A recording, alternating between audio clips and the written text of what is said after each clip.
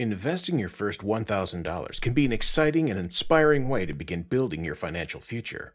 While it's true that investing involves some risk, it is also important to note that many successful investors have obtained considerable returns on their investments.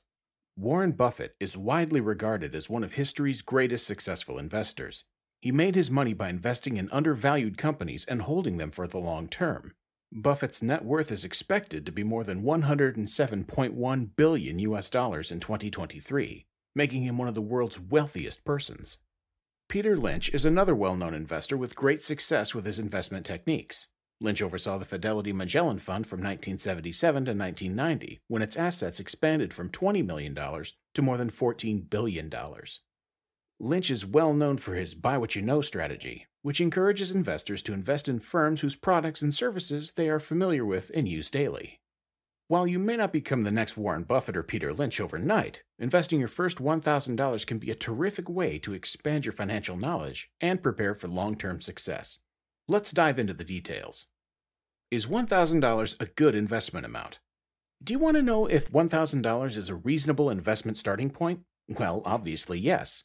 The good news is that you don't need much money to begin investing. Any amount will get you started and help you create decent returns. With inflation already at 6.6% and predicted to rise further, investing is wise because it can create reasonable returns and help you expand your wealth over time. You can also decide how to invest your money.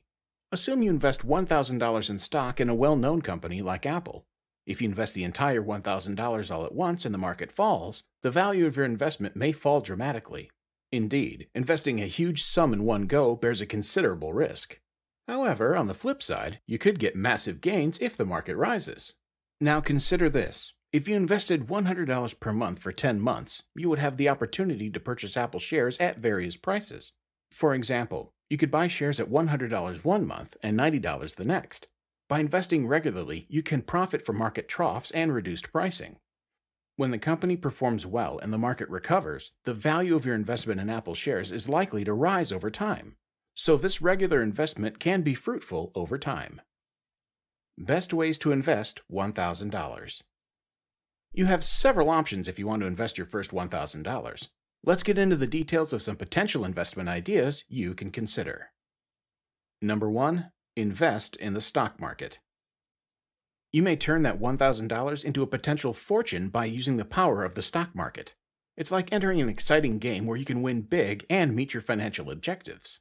Consider investing in exchange traded funds, or ETFs, that track the most recent and hot trends, such as the Invesco Solar ETF, or TAN, which has gained 200% in the last year due to the rising demand for renewable energy sources.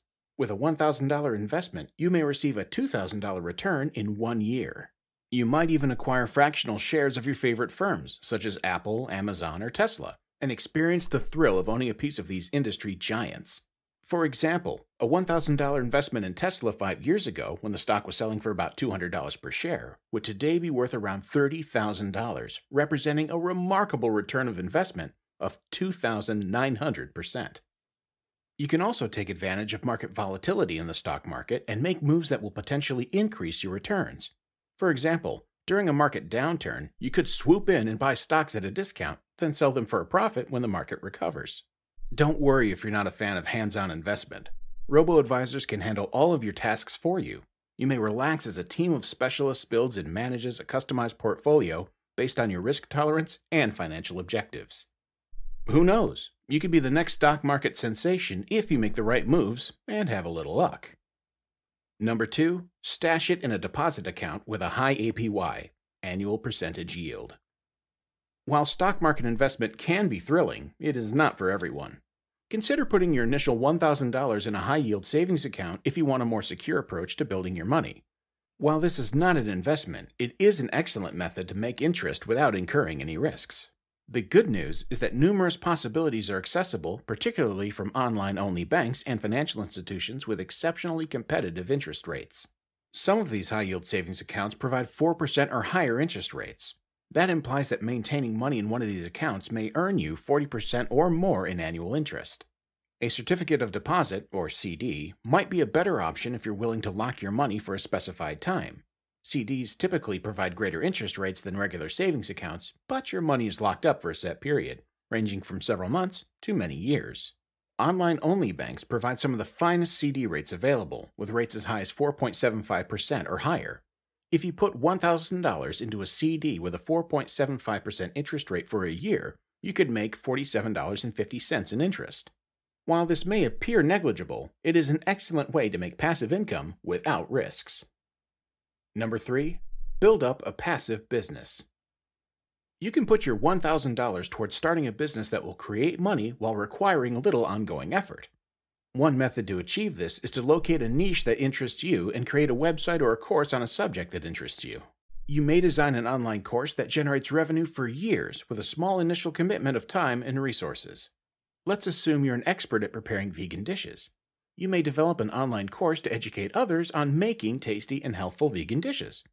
With a $1,000 investment, you could buy equipment to film and edit videos, engage a graphic designer to create a logo and branding, and build a website to sell your course. Making microloans through a crowdfunding platform is another possibility for a passive business.